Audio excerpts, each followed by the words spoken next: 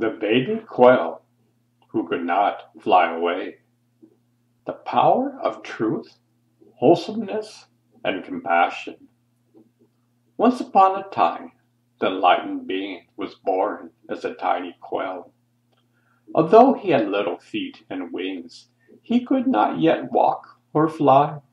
His parents worked hard bringing food to the nest, feeding him from their beaks. In that part of the world, there is usually forest fires every year. So it happened that a fire began in that particular year. All the birds were able flew away at the first sign of smoke. As the fire spread, and got closer and closer to the nest of the baby quail. His parents remained with him. Finally, the fire got so close that they had to fly away to save their lives.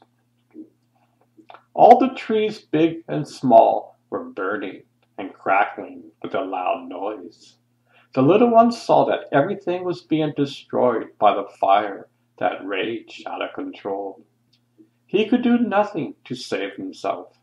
At that moment, his mind was overwhelmed by a feeling of hopelessness. Then it occurred to him my parents love me very much. Unselfishly, they built a nest for me and then fed me without greed. When the fire came, they remained with me until the very last moment. All the other birds who could had flown away a long time before. So great was the loving kindness of my parents. My parents loved me very much.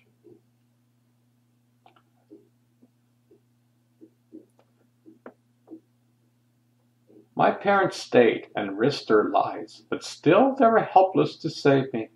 Since they could not carry me, they were forced to fly alone.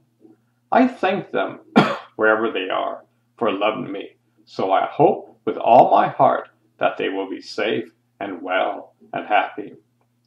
Now I am all alone. There is no one I can go for help. I have wings, but I cannot fly away. I have feet, but I cannot run away. But I can still think. All I have left to use is my mind, a mind that remains pure. The only beings I have known in my short life were my parents, and my mind has been filled with loving kindness towards them. I have done nothing unwholesome to anyone. I am filled with newborn innocence, truthfulness. Then amazing miracles took place. This innocent truthfulness grew and grew until it became larger than a little baby bird. The knowledge of truth spread beyond that one lifetime, and many previous births became known. One such previous birth had led to knowing a Buddha, a fully enlightened knower of truth, one who has the power of truth, the power of wholesomeness, and the power of compassion. Then the great being within, the tiny babe, tiny baby quail thought, may this very young innocent truthfulness be united with that ancient purity of wholesomeness and the power of truth. May all birds and other beings who are still trapped by the fire be saved, and may this spot be safe from fire for a million years.